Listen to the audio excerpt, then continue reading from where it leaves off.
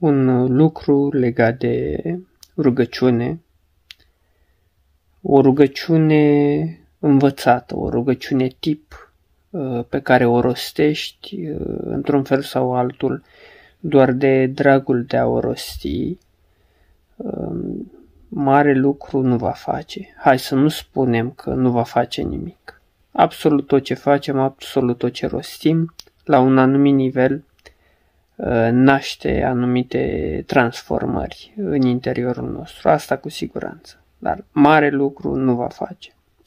Apoi o rugăciune învățată, dar pe care o rostești um, din toată inima ta.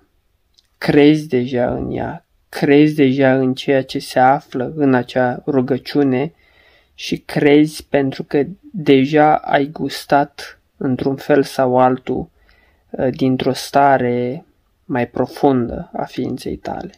Și atunci când rostești rugăciunea, chiar dacă este învățată, pentru că tu crezi în ea, ei bine, um, acea rugăciune va produce automat transformări în viața ta. Iar mai apoi, mai avem, hai să o numim cea de-a treia rugăciune, al treilea tip de rugăciune. Este rugăciunea spontană, pe care o simt a fi uh, cea mai puternică. În momentul în care poate cazi în genunchi și rostești din toată inima către divinitate, către existență, ceea ce simți viu că este în acel moment în interiorul tău. Sau pur și simplu împreunezi mâinile sau pui mâna pe inimă sau ridici brațele către cer, oricum ar fi, secretul uh, stă în a fi spontan atunci ceva fabulos se întâmplă, pentru că, în primul rând, tu nu mai faci lucrul acesta pentru că așa trebuie sau nu mai faci pentru a obține ceva. O faci pentru că, pur și simplu, toată ființa ta dă pe din afară și se manifestă sub uh, această formă înaltă a spiritualității pe care o numim rugăciune și care este direct legată de devoțiune, direct legată de iubire, adevărata iubire. Și ea ajunge să se manifeste prin acela care se abandonează pe sine, în fața existenței, în fața lui Dumnezeu.